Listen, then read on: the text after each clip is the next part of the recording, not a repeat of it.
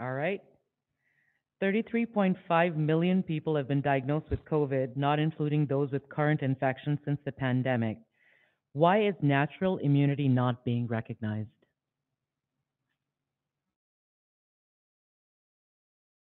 I think that's sort of the same question. You know, na- natural, it depends on how severely ill you were, really.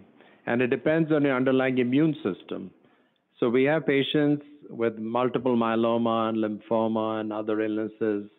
They just don't mount any antibody, no matter how sick they became. And they get reinfected very easily.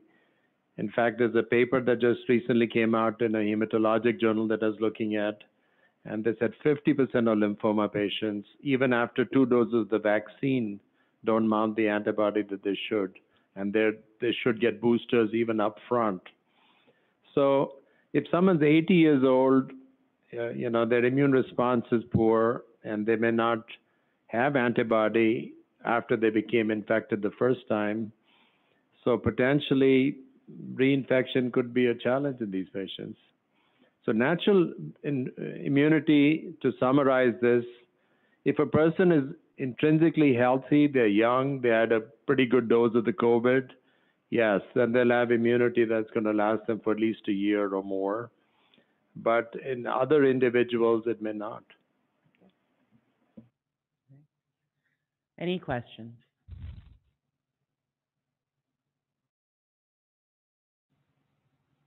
Um, so it sounds like you're drawing a connection between how severe someone's bout with COVID is and how long they may have immunity, or how good the immune response their body mounts is. Does that apply also to the vaccine? In, in other words, if someone gets the vaccine and doesn't have really bad side effects, uh, does that possibly mean that they are immune for a shorter time than someone who experienced more severe side effects? Yeah, that's a good question, Hampton. To people who don't know Hampton, he's a great ICU nurse. um, the correlation between side effects from the vaccine and the antibody titers is not 100%. We do see patients that have good antibody titers that have no side effects, and vice versa. But in general, you're right. I mean, if you have no response to the to the anti to the vaccine, then maybe it's prudent to check the levels at some point just to make sure you have some antibody response. What do you think, John? Yeah, I concur. And you know, with the vaccine, part of the reaction that you can get is, you know, part of immunity. Part, part, part of it is also to the other compound that's in the vaccine.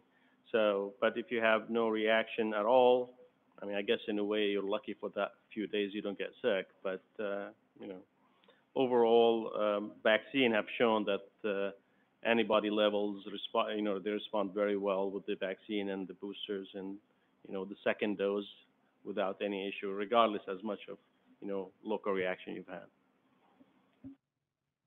Okay. Any other questions?